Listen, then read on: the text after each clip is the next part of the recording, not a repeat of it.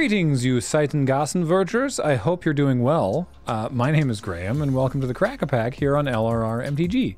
Please consider subscribing to our channel. Today, as you may have inferred, we have a non-English pack of magic cards. Specifically, it is a pack of Aether Rebellion, or German Aether Revolt, which was given to us by Ruby from Switzerland through the mail in, oh, very recently actually, March 2022, and it came with a note. So I'll read it to you now. Dear LRR, thank you so much for the countless hours of entertainment and joy you are bringing into this world. Well, thank, geez, that's very nice of you, thank you. After stumbling across From Rewatch with Love of all things, I've started watching more and more of your magic content as well, and especially love Crack a Pack. Well, hello. So as a token of appreciation, please find attached a gift of two packs, one German language pack of Aether Revolt, and an English language pack of Dominaria, which is in our drawer now. Uh, then in brackets, Canadian Customs said I had to include a note indicating that this is a gift. I don't think that's true. I think you just have to say it's a gift on the customs form. But, I mean, thank you. Uh, they continue, once again, thanks for all you do and looking forward to more LRR in my life. Cheers, Ruby. Well, thank you, Ruby. Very much appreciate it. Uh, and now you and everyone else gets to see Graham muddling along with German cards, trying to remember if he can identify them by art alone. How long has it been since I played any Aether Revolt? Hoo boy.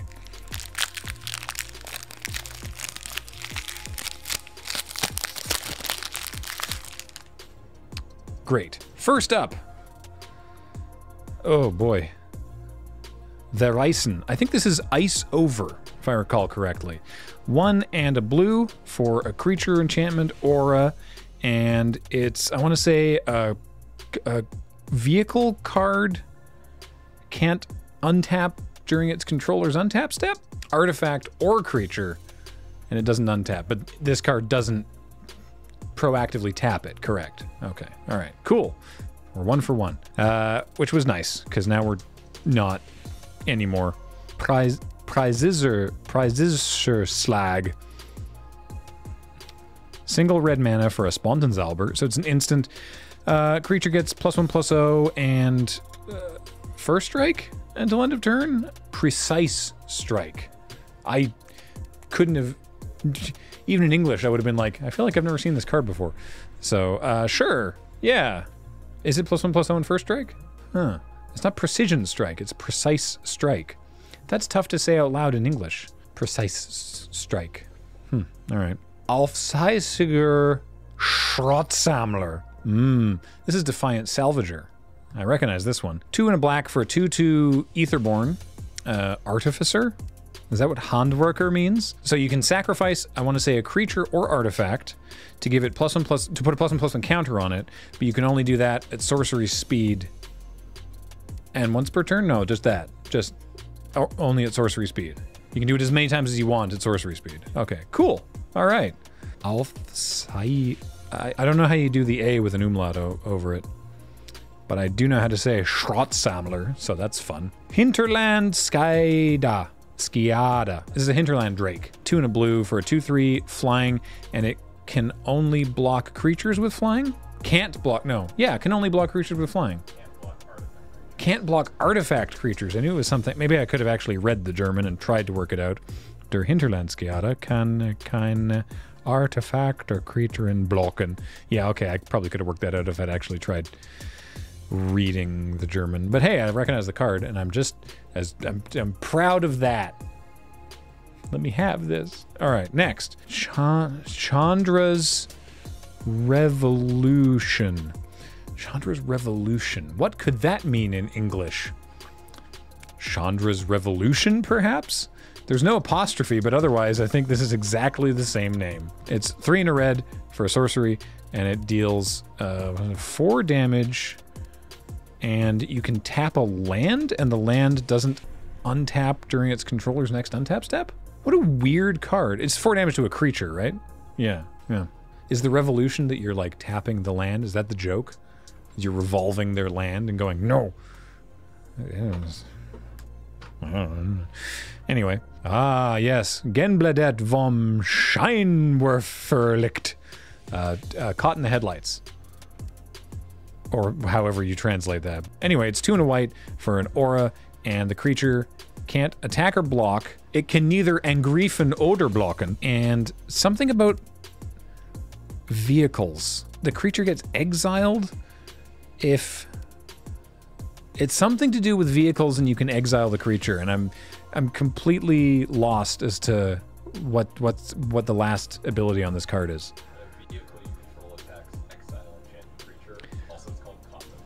Brights. James corrects me. It is caught in the brights, not caught in the headlights. So, my bad. Anyway, next. This is Night Market Watcher, and I know that because the name here is Nachtmarket Watcher, and it's the weird thing with three legs and two torsos. It's a three mana artifact creature construct. It's a 3 1, and it can block an additional creature because it's got two torsos. Right? Obviously. It is Night Market Watcher, isn't it? Night Market Guard? Night Market Guard. And yeah, you can block one additional creature. Yeah. Yeah. Hey, look, if I had two torsos, I assume I'd be able to block two creatures. I assume it would take more than two creatures at a time before they could work up the courage to come towards me if I had two torsos.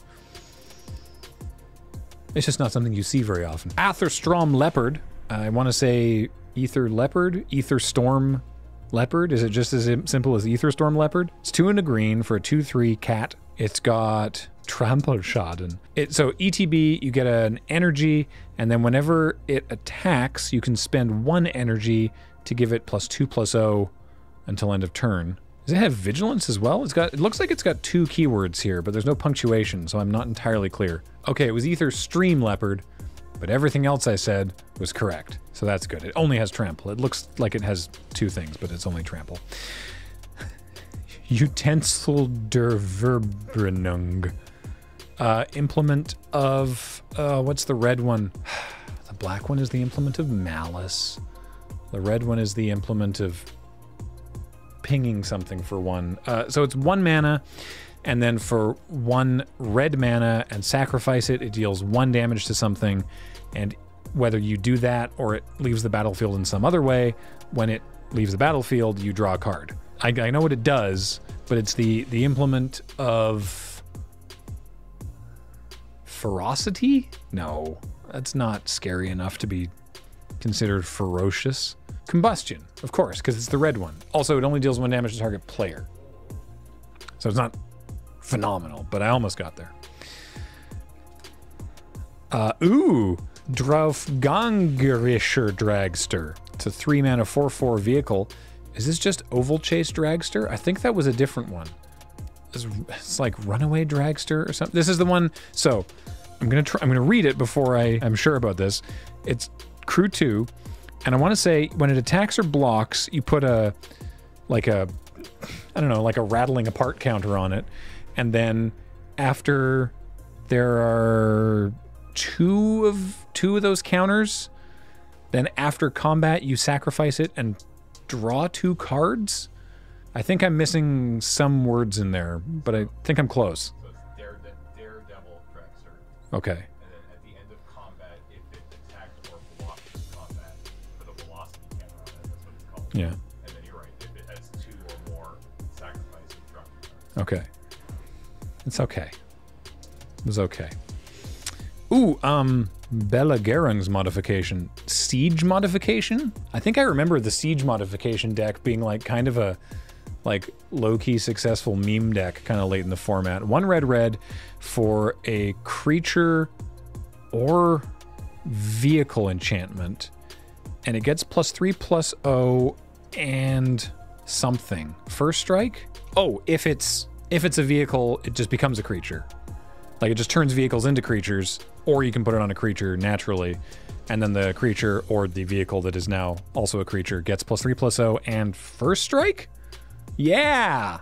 Woo! Siege modification. Feel good about that. That card's very silly.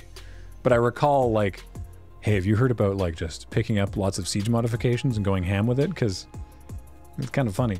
It's an uncommon, so you couldn't really like ever reliably do that, but anyway. Ooh, Admiral der Aeronauten. Um, Aeronaut Admiral? Admiral Aeronaut? it's something like that. It's uh, 3 1 with flying. No, it doesn't have flying, but it gives all the vehicles flying, and it has a different thing. It's 3 and a white for a 3 1 with something, and it gives all your vehicles flying. No, you're right. It. Oh, it does have flying. Aeronaut. Admiral. Aeronaut Admiral. It has flying. It's it has f- Fliegend, but it gives your vehicles Flugfachigkeit. Kite. Flugfachigkeit. So different flying.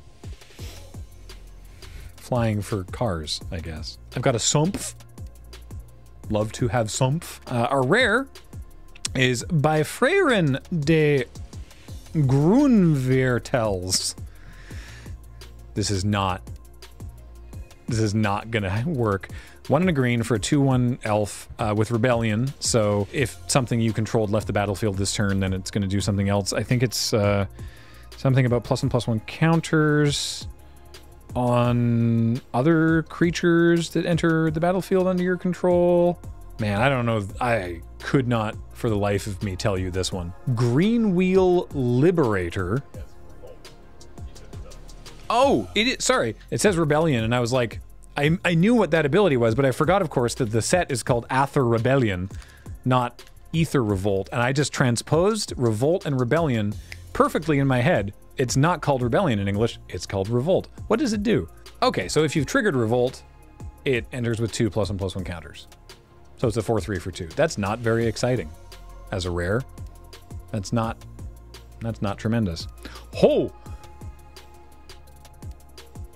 You know what is exciting? And is in English. I didn't know this could happen. We we got a masterpiece. We got we got a gremlin, which is I mean, yeah, same, right? But no, we got we got a chalice of the void. That's amazing. Holy moly. In English, because I guess they didn't print them and they didn't localize the masterpieces, I guess. So yeah, Chalice of the Void, XX artifact, enters the battlefield with X charge counters on it. Whenever a player casts a spell with converted mana cost equal to the number of charge counters on Chalice of the Void, counter that spell. Cool. well, that was that was wholly unexpected. What are the odds of that? So so in a draft, I would be taking Chalice of the Void because don't judge me. So would you. Turns out it's worth like $350.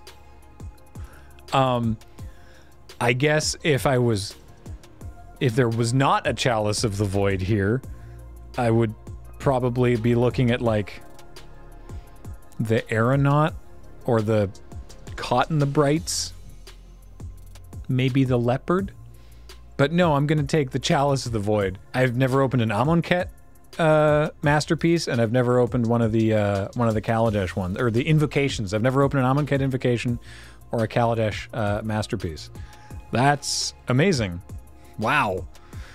Well, uh, I, that's somewhat um, messed with the uh, the the value of the pack, as you can see. Um, but that's fine. That also makes it the most expensive single card we've ever opened on Crack a Pack by some margin as well. So, hey, thanks, Ruby. wow. All right. Um, if you want to send us packs, though I kind of feel like people are going to not want to now, uh, you can do so to the address on your screen. And then, of course, a reminder that this show and everything we do is brought to you by you and your kind support of our Patreon at patreon.com slash loading ready run. That's amazing. I've been Graham. James has been running tech. Uh, thanks for all your help on identifying these cards properly. Matt edits these, Heather gets them online, and you have all joined us to watch, and that's uh, arguably the most important part. So thank you. See you next time. Bye, everybody.